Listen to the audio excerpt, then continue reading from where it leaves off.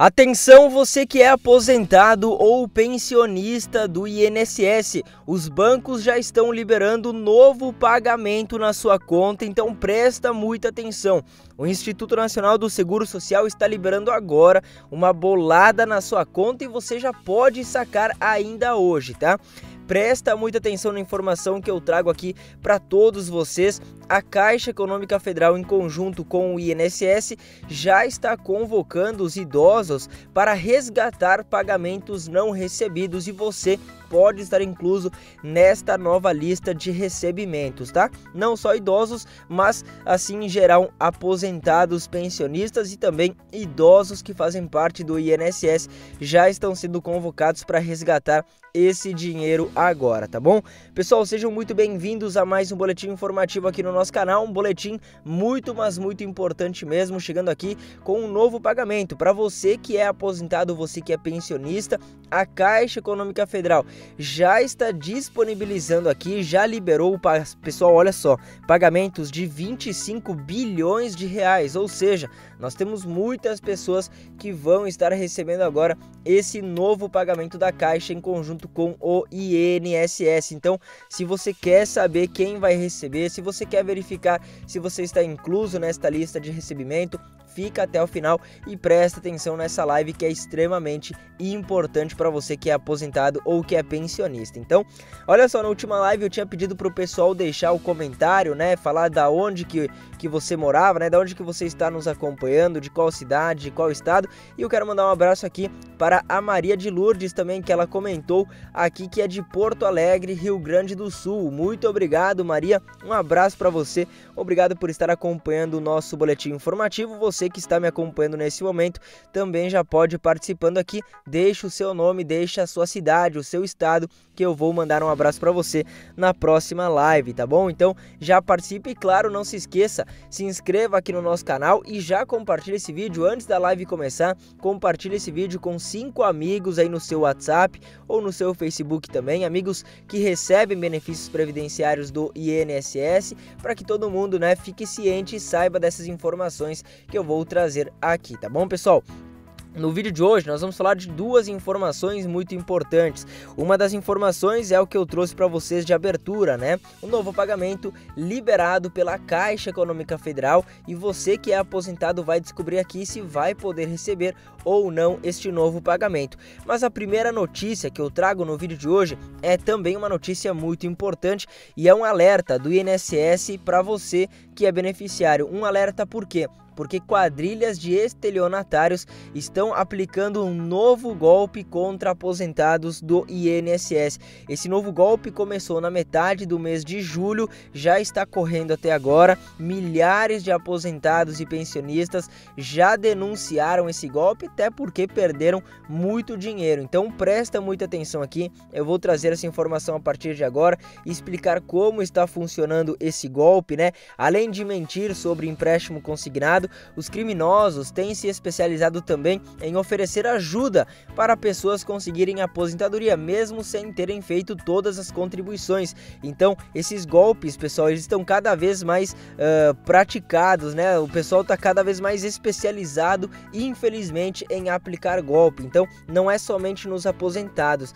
mas sim também no pessoal que está quase se aposentando. E eu vou trazer essa informação a partir de agora. Põe na tela. Dezenas de quadrilhas de estelionatários estão aplicando golpes contra aposentados do INSS. Todas as vezes que o telefone toca, e não são poucas, a assistente administrativa Maria da Conceição já desconfia. Olha só, ela contou o seguinte: eles dizem que são agentes do INSS, oferecem crédito consignado com juros mais baixos, é de segunda a segunda, foi o que contou aí a Maria da Conceição. E o pior de tudo, pessoal, é que do outro lado da linha, né, do outro lado da chamada telefônica está um golpista que muitas vezes sabe muito, né, sabe todas as, info as informações sobre ela. Olha o que, que, ela, é, o que, que ela relatou aqui e eu quero que você preste atenção para ver se você se encaixa, né, para você se identificar com isso. Ela falou o seguinte, abre aspas, já atendi telefonema e a menina sabia tudo da minha vida, do meu bancário, do meu modo bancário, minha filha que me me avisou, que me deu um toque. Mãe, isso é golpe, foi o que relatou Maria da Conceição. Então, esses criminosos, pessoal, eles estão tão especializados que eles já ligam para a pessoa já sabendo todas as informações, sabendo o número do CPF, sabendo o número de, de identidade, sabendo conta bancária. Então fica até mais fácil para o aposentado cair, né? Você pensa, bom, se o pessoal sabe de todas essas informações, é porque realmente é o pessoal do INSS ou é o pessoal do banco e na verdade não, né? Eles fazem aí, eu, eu não sei dizer o que que eles fazem, mas enfim, eles têm todas as informações dos aposentados. Isso é um absurdo. Então, preste atenção. Além de mentir sobre empréstimo consignado, essas quadrilhas que estão aplicando esse novo golpe que começou em julho também oferecem ajuda para pessoas conseguirem aposentadoria, mesmo sem terem feito todas as contribuições ao INSS e até para fazer revisão que aumentaria o valor do benefício. Então, tudo isso é golpe, tá? E muito bem planejado,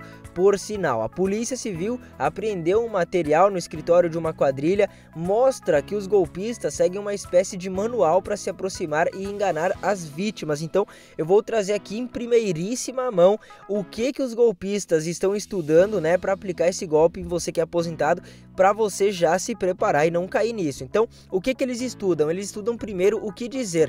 Nos roteiros que a Polícia Civil resgatou, estavam escrito frases como: "O meu contato é referente a uma economia que está sendo disponibilizada nos seus consignados". Então, isso é uma coisa que ele pode falar para você. Depois, ele vai falar o seguinte: falar com entusiasmo e alegria na voz, elogiar a foto do perfil no aplicativo de conversas. Pessoal, olha só que absurdo, né?